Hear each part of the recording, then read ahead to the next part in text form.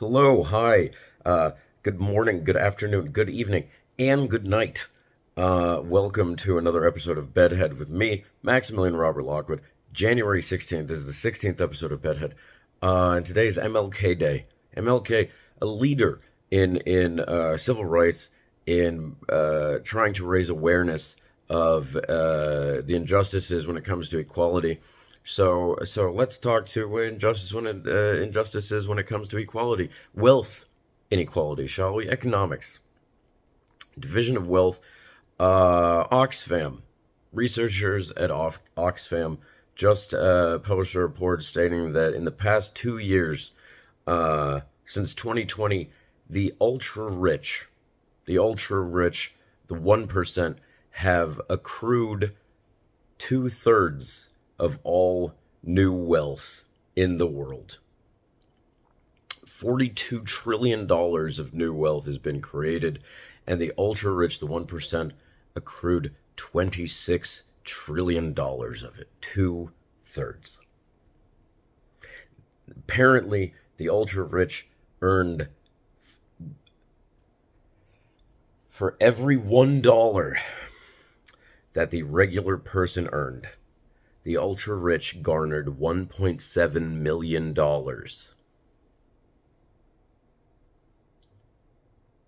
Since 2020. And apparently that's speeding up. It used to be that they would only garner about 50% of wealth for ev- uh, 50% of all new wealth uh, just for the 1%. By the way, this is just for the 1%. So they're saying that all the other 50% of wealth would have gone to the entirety of the other 99%. And now it's only one third of wealth goes to the other 99%. The 1% sequester two thirds of it. $26 trillion.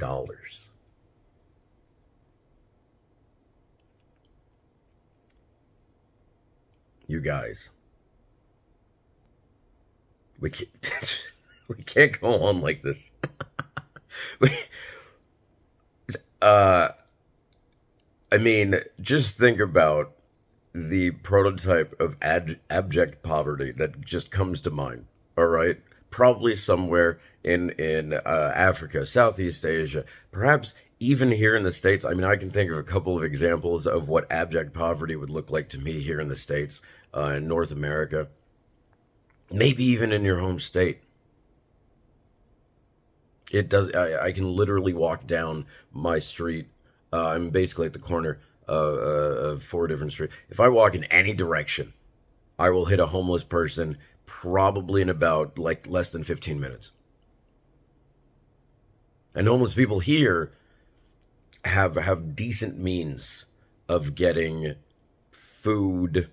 Uh, there are programs set up for for shelters. Um, they can they'll probably have a roof over their heads. They'll probably have some kind of um, you know, warm meal and or access to clean water and everything. That's not the case for abject poverty around the world. Damn sure that's not the case. And yet, they're walking away, the 1% is walking away with two thirds of all new wealth $26 trillion. Over two years. Fuck them all to death. Anytime that anybody tells me that that's too strong a sentiment, absolutely fucking not. Fuck them all to death. It's disgusting. Have as great a day as you can. Be virtuous. Live with integrity and morals and let them guide you. Because they sure as shit ain't guiding the 1%. Be better than them. Take it easy. Have a good day.